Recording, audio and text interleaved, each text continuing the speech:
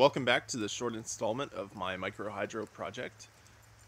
Uh, today we've had a lot of rain and I'm gonna grab my shovel. It's under the deck here.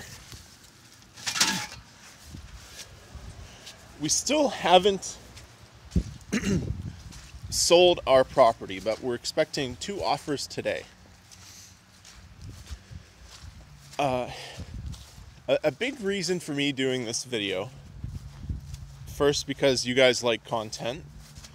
Uh, second is because the guy uh, seth johnson over at land to house has a similar flume and just did a similar video on you know unclogging all the leaves and all that stuff after a few storms. Now we've had a few storms too but we haven't had I haven't had the water wheel running.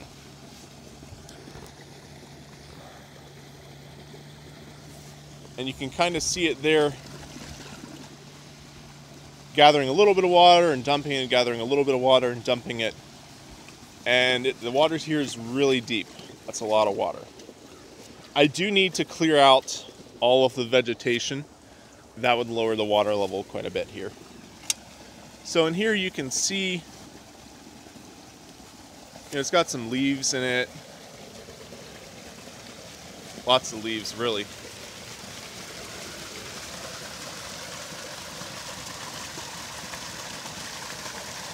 Sorry about the video quality, it's kind of dark.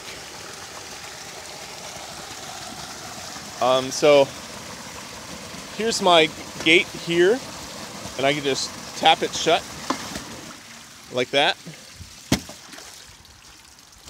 And we're chasing the water.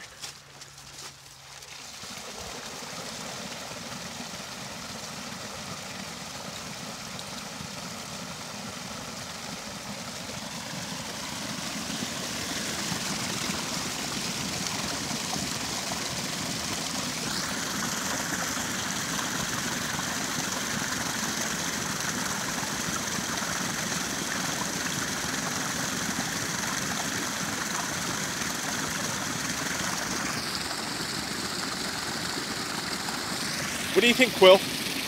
Huh? Yeah. That's uh, really fun and interesting. I'm happy to share it with you.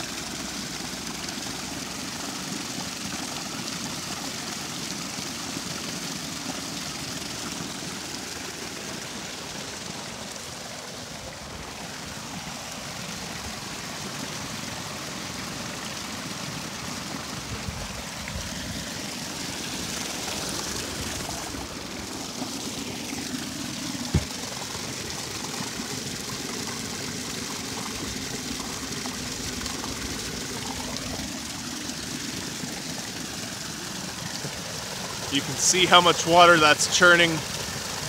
I don't know how much energy that would be powering or providing if I were to hook up a generator. Obviously more if it didn't have the drag on the bottom, but that's still quite a lot. I guarantee there's a lot of force there.